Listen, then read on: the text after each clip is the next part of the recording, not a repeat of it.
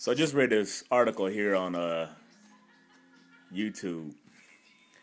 The science science explains instant attraction. It talks about a scientific study that was done somewhere dealing with you know the process, the brain process on how we judge a mate, a possible mate by physical attractiveness, by just seeing a face. Um, and of course, it has some deeper aspects, but you know, it'll go into you know what part of the brain exactly and what not. But ultimately, you know, what is being said is what is being shown. The truth that's being spoken is that, like I tried to end with saying, um,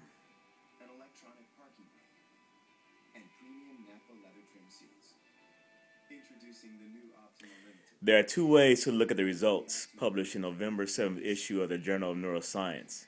One, Cooper said, is that we're pretty shallow.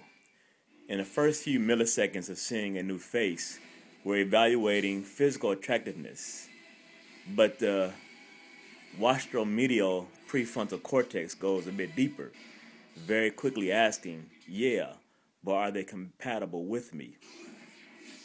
Well, see, the evaluation, the evaluating of physical attractiveness is our natural animal instincts. It's the, the animalistic attributes of us. You know, that's what, you know, we always try to separate ourselves from the animals, but we always show that we're nothing but animals. We act just like the animals. Um,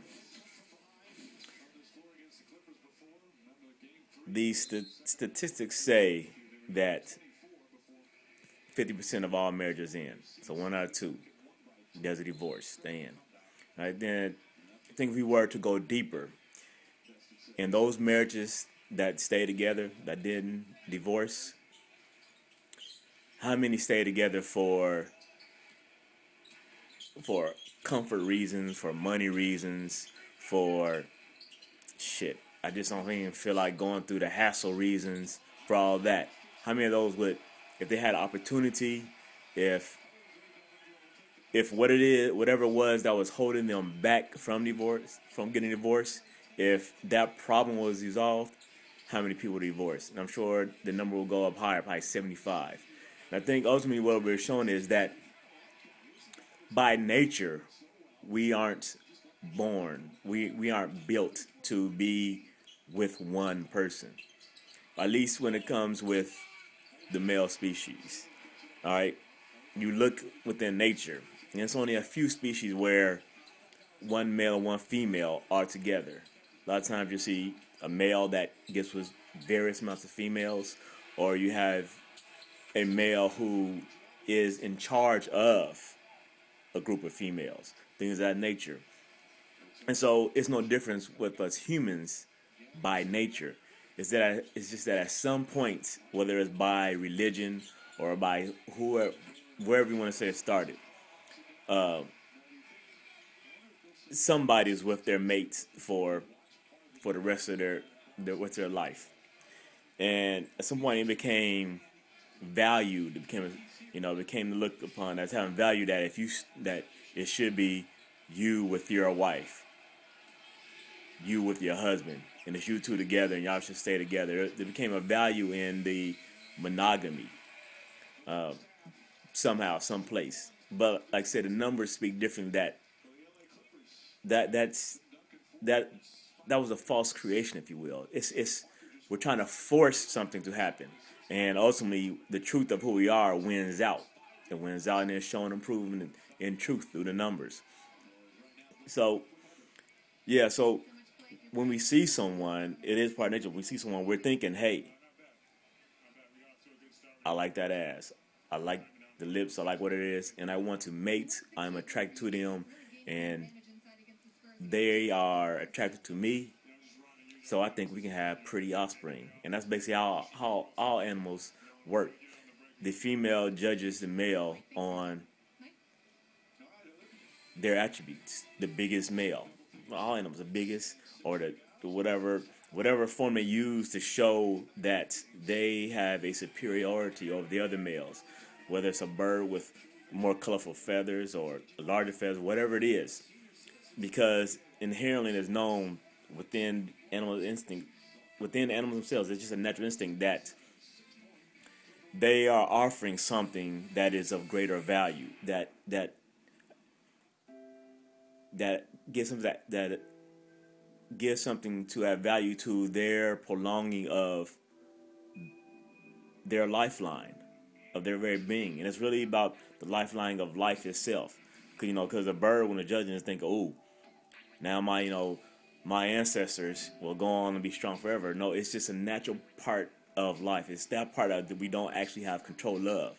This is a subconscious, unconscious thing that happens. It's part of life of wanting to go on. Life itself wants to go on. The life force in us, the life aspect, the natural part of us, of all beings that procreate, is how can we continue? How can I continue to go on? And so it looks for the strength. And so, like I said, we as humans always try to fight against this, and, and it makes no sense. We we we close our eyes, but we know we close our eyes to many things. We we constantly close our eyes to the truth. We accept the truth in some aspects of our life. We value the truth in some aspects of life, but in others, and usually it's it's when the truth goes contrary to our held belief, or especially that that religious belief system. If the truth speaks against that, oh, it ain't good. Well, I'm I'm not listening to scientists now. It's interesting. I had a conversation just this past weekend, past Sunday with this Christian lady. Um, I was out watching basketball, and she was talking about, you know, she, you know, she believes in scientists. Um, you know, she goes to the doctor. She believes in, you know, what they say should be done for, you know, curing colds and all this and all that. But then when we got on a subject of evolution, oh, no, I think they're just they're just giving a belief there. Well, yeah, That's what science does. Science operates by nature off of believing something. But what it does is it tries to prove that belief.